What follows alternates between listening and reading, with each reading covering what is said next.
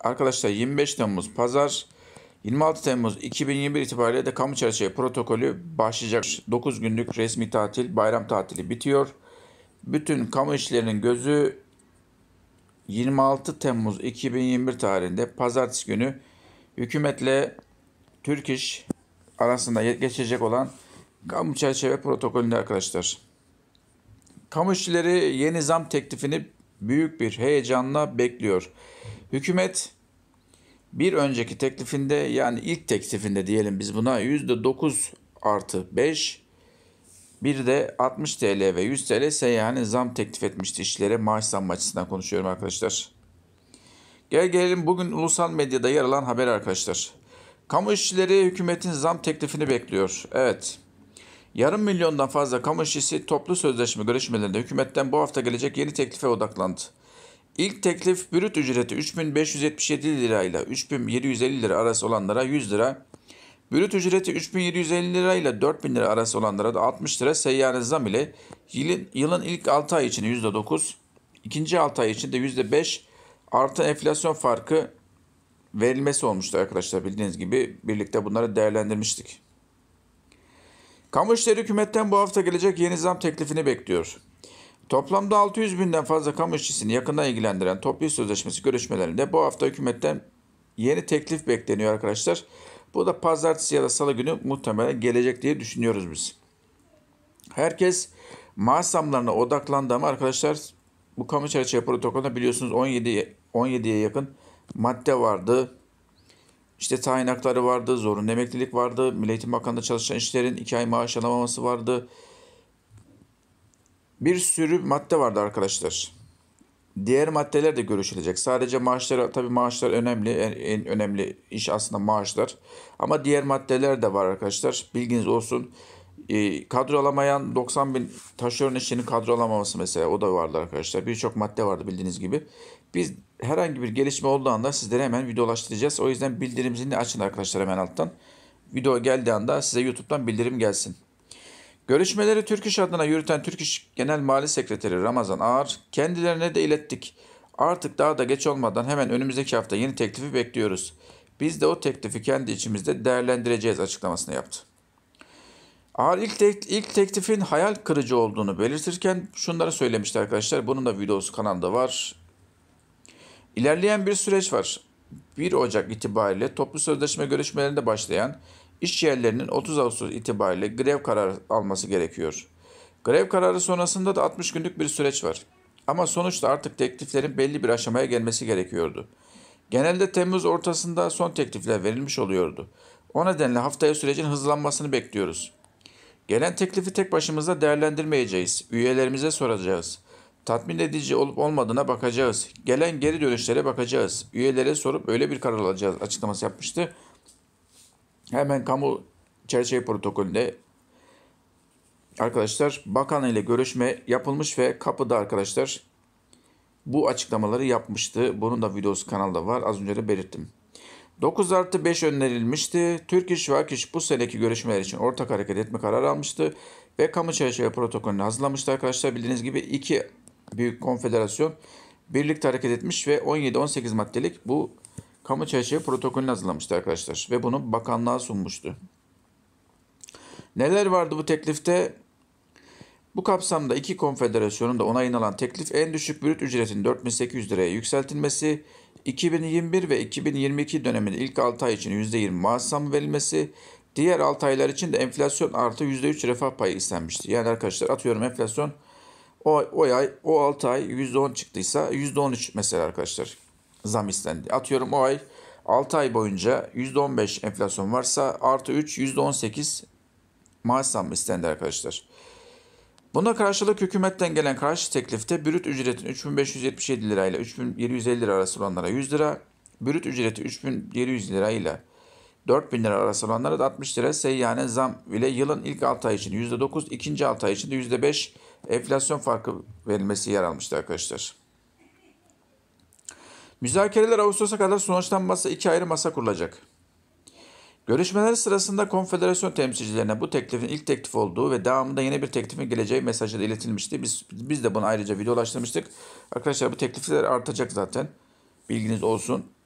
bu verilen 9 artı 5'lik teklif böyle kalmayacak. Hükümetin art, artış yapacağı %100 arkadaşlar.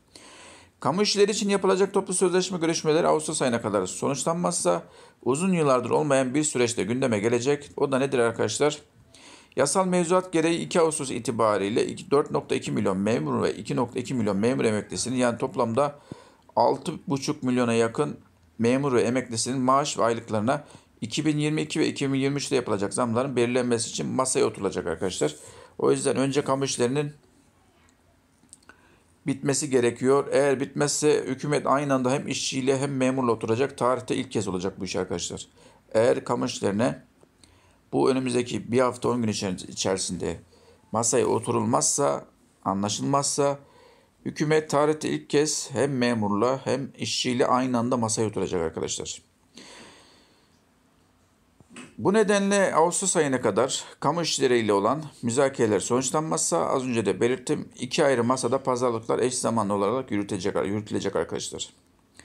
Anlaşma sağlanamazsa zam oranına hakem kurulu karar verecek arkadaşlar ki umarım hakem kurulu karar vermez. Hakem kurulu arkadaşlar genelde çok düşük oluyor kararları. İki sene öncesini hatırlatayım size arkadaşlar. Memurların arkadaşlar verilen maaş zam oranlarını hakem kurulu belirledi.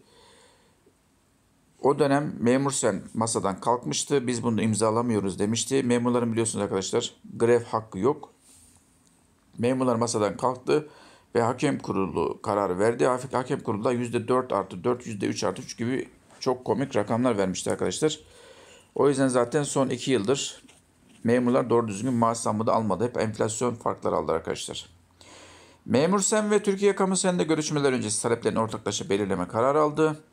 Bakın burada da memurlar işçilerdeki yeni karar almış. İki büyük konfederasyon birlikte ortak hareket etme kararı almış arkadaşlar. Buradan iki sendikayı da iki konfederasyonda işçilerde olduğu gibi kutluyoruz. Birlikten güç doğar arkadaşlar. Konfederasyonların ortak talepleri arasında maaş ve aylıklar oransal zammın yanında seyyanen zam, refah payı verilmesi, 3600 ek göstergenin çıkması, sözleşmelerin kadroya geçirilmesi, derece kademe ilerlemesinin önündeki engellerin kaldırılması gibi maddelere yer alıyor. Aynı işçilerde olduğu gibi arkadaşlar bakın.